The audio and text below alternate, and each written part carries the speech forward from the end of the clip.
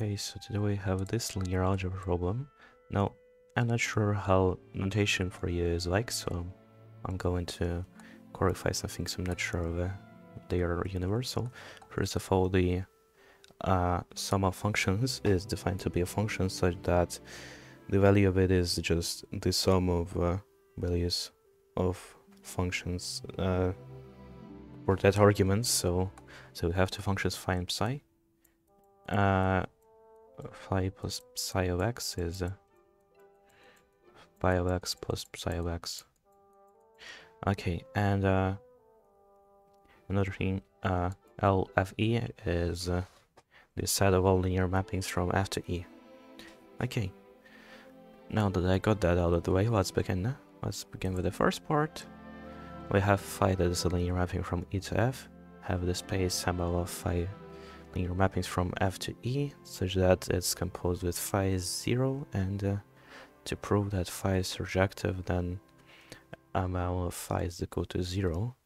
Okay, now working on that, if phi is surjective, then uh, okay, let's know that that's the first part. Uh, first, image of phi is equal to f. Then let's work with the image of the composition of phi with psi. Psi with the phi is gonna be psi of image of phi. Now that's gonna be psi of f. This since f is literally the domain of it, it's just gonna be image of psi. Okay, now let's review uh, this equality. Let's take the image on both sides. What we have is image of uh, psi is equal to 0 because the image of 0 is 0. Okay.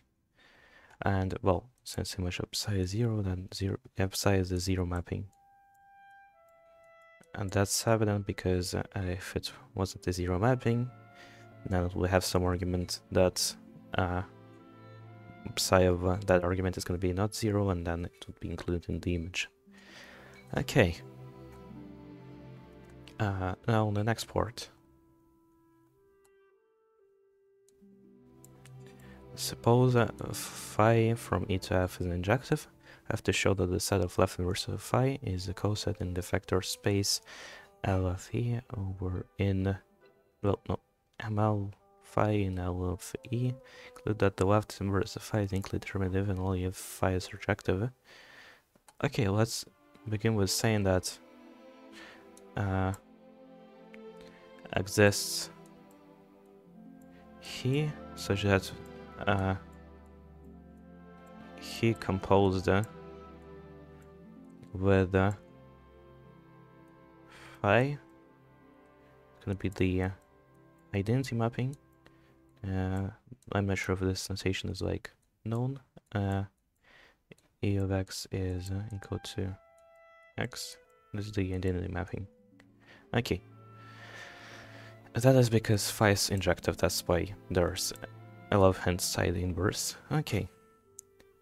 Now, since we had the left inverse of phi, uh, we can go ahead and take the coset that contains it. Let's call it coset T. Be the set.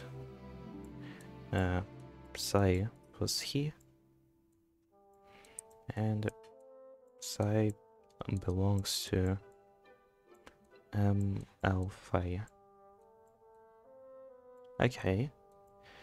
Now, let's work with this general notation uh, psi plus he and uh, let's say that psi belongs to m l i then we are going to do is we're gonna compose this with phi and this is gonna be interesting because we have psi which equates to like well zero of string composition is phi and which is the left inverse of phi. Now, due to the way we define the, the sum of functions, uh, this could be psi of phi plus he of phi. Now there's going to be just zero, so note we have to know that uh, this he of phi, which is the identity mapping. Therefore, psi plus he is uh, a left inverse. And therefore, uh, an entire coset like that, T, is full of inverses of phi. So now what we have to show is that uh, left inverse of phi is included determinative and only if phi is surjective. Now, thing is, this set is gonna have only a singular element, only under one condition, under that condition that uh, psi uh, is singular. Well, this specific set, we're not saying that there isn't another coset that could uh, theoretically contain uh, something else, but uh, if we show that psi is singular only if uh, phi is surjective, then we already show that there isn't a case where phi isn't surjective. And if phi is surjective, and as we have said already, phi is injective, then phi is an isomorphism, and the inverse is uniquely defined. So the only thing that we have to show is that it's not going to be uniquely determinative, phi isn't surjective. Okay, let's go ahead and actually do that now. Uh, let's say uh, image of phi is not f, so phi isn't surjective. Then let's go back to uh, this equality.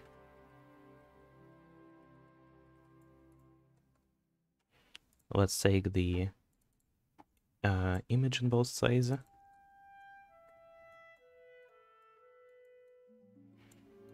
Image actually not the image let's take the kernel.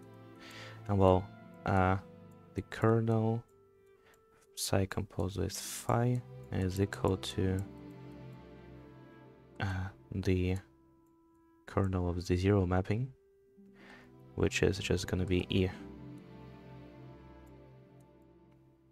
Okay now let's actually work with this now. The kernel of psi composed with uh, phi.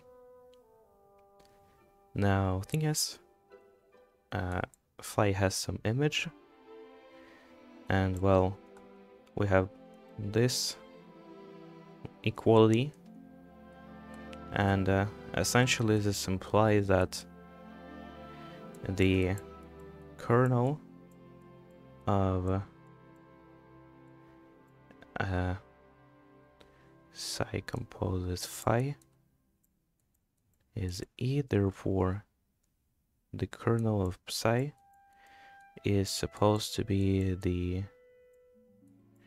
image of e, not e, the image of phi, sorry. I'm just uh, stuttering a little. Uh, that is, uh, well, true because uh, for every element that we pick and insert into phi, we get some value, and then we stuff it inside of psi we get zero. So this should be true. And well, I think yes. That implies that kernel of psi is not equal to f.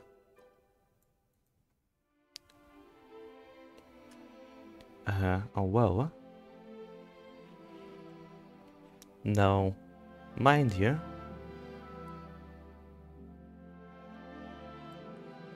uh, we were to sort of return a little. Terminative and only if phi is surjective. Now, this therefore implies that psi is not the zero mapping,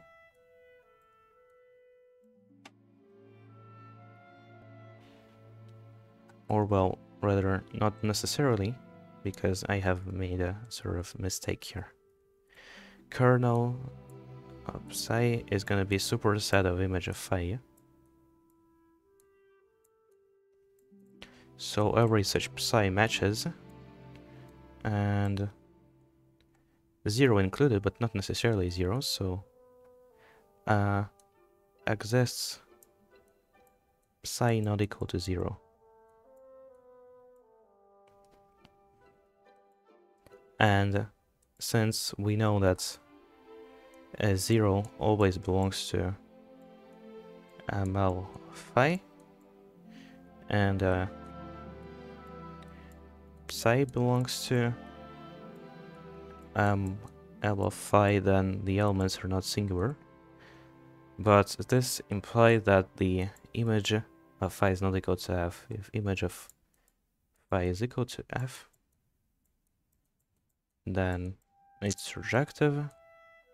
M L of phi is equal to 0. So multiple things are matched. First of all, this coset is going to have only one inverse. Uh, for 2, it's going to be an isomorphism, well, phi, so it will have a unique inverse. I'm kind of overcomplicating things, but uh, I think you get the point and everything, so uh, that's it for today. Bye.